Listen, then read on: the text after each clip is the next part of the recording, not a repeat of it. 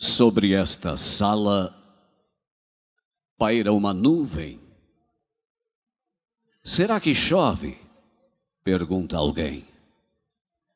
Reina um silêncio de expectativa e almas curiosas auscultam o ar. Será que chove? Sopra uma brisa prenunciando gotas de paz. Um acordeon murmura o tom e o pajador faz chover poesia, livre poesia, chuva do bem. A chuva dos livres, quinta concorrente da noite, vem de São Pedro do Sul, escrita pelo poeta Paulo de Freitas Mendonça.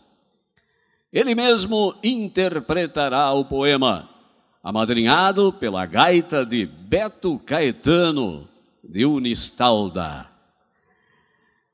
No palco do Esteio da Poesia, a chuva dos livres.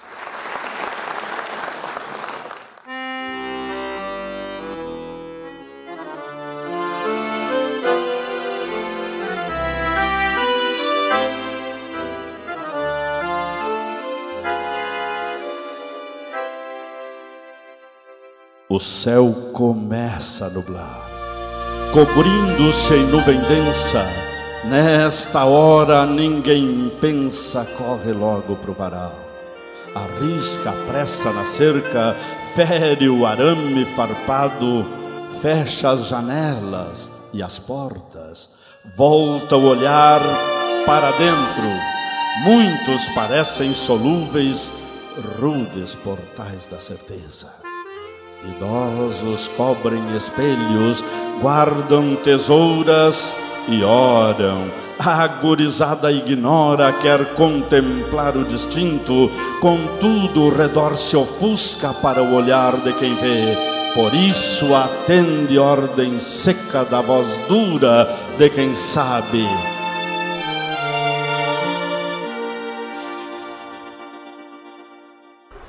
e todos estão conscientes de que o tempo vai mudar. A nuvem espessa avança, igual, porém diferente. Não é mesmo piroclástica, tampouco de temporal. É um bloco multicor que pinta tudo que encobre, mesmo parecendo nobre, assusta os que não veem desde os que não sabem bem até os donos da verdade. Ninguém sente os eflúvios de algum prenúncio de chuva, e isto apavora mais racionalistas e céticos. Já se fala em fim do mundo, dilúvio ou mão de Deus. Muitos de olhos fechados rezam os seus preconceitos sem ter certeza de nada, mas cheios de afirmações. A nuvem em pouco tempo, envolve todo o ambiente, entra atrás do horizonte, sem sair do nascedouro como uma crosta esférica para encobrir o planeta. Nunca alguém havia visto algo tão fenomenal. A maioria não vê por temor e egoísmo. Somente os equilibristas, poetas bêbados loucos, corajosos, sonhadores, troveiros e menestréis testemunham o fenômeno num matiz inigualável. Eles dançam pela rua, cantam, recitam e beijam, brindam com flores e choram extravasando emoção. Todos procuram imagens que o vento na nuvem faz. Isto aumenta o mistério, porque depois de avistadas, nada ali se desfaz. Podem mudar de lugar e voar, mas todos podem apreciá-las com olhos interiores e absorver o primor emanado em cada luz. Ouve-se a voz de um sábio Há de chover sobre nós, também das casas fechadas, muitas vozes de horror. Há quem prefere morrer, quem desmaia de temor, e uns poucos loucos cantando, vendo amor em cada cor, ignorando a censura dos profetas do pavor. Se solta o primeiro pingo numa explosão de sapiência, a vibração de euforia é sufocada por vozes de quem não olha para o ar e premedita o pior. É um pingo retangular que vem planando, qual pluma, gerando uma expectativa, demorando para chegar desce em bailado sublime que só em sonho se vê, fascinando os olhares, dança sobre os que festejam e cai na mão do profeta, o mais antigo poeta que o leva ao seu coração.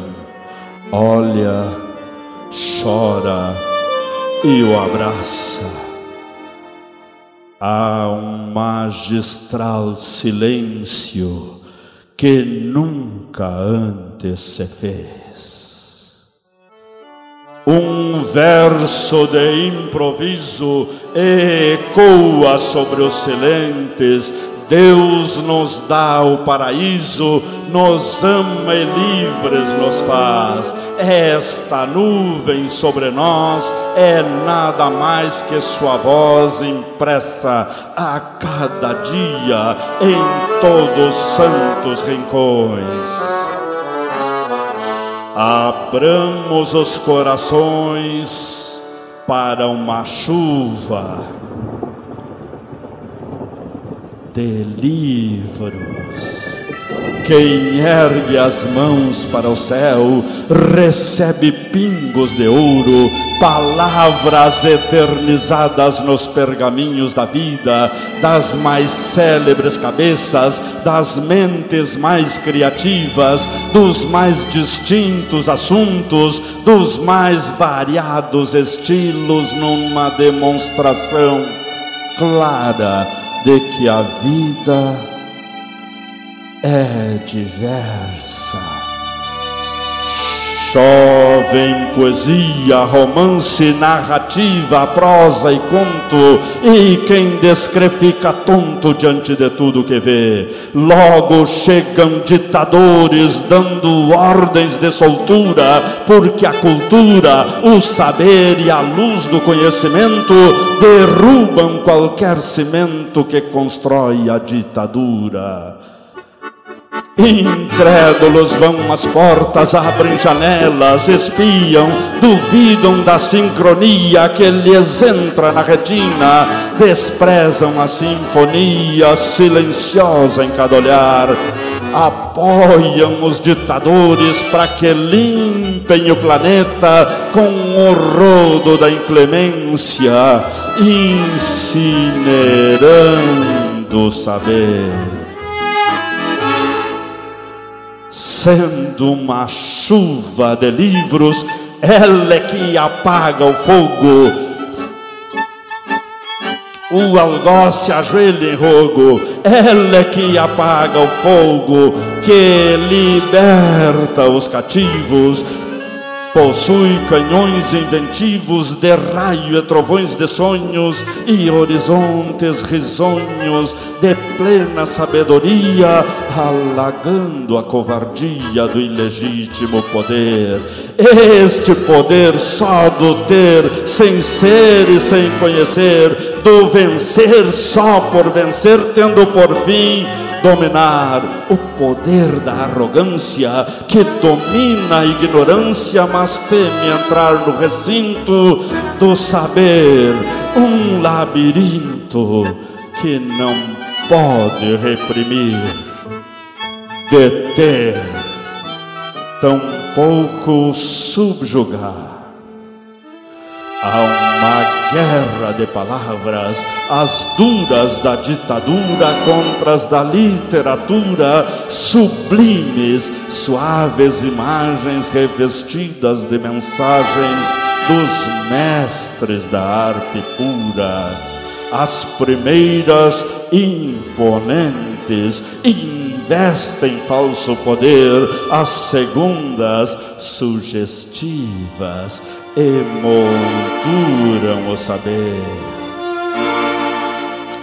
As letras da inteligência são lidas em vozes altas, sufocando as maulas ordens, os gritos da intolerância os olhos da ignorância conduzem suas mãos aos livros e as palavras vão criando conceitos de liberdade.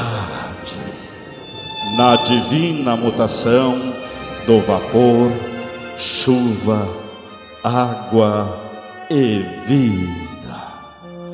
E quanto mais livros chove, mais livro aqui se produz, porque o saber que reluz faz com que em si se renove. Logo vai se aprendendo com vates sábios e loucos a cada linha relida que a dúvida move a vida e que a única certeza é que você sabe.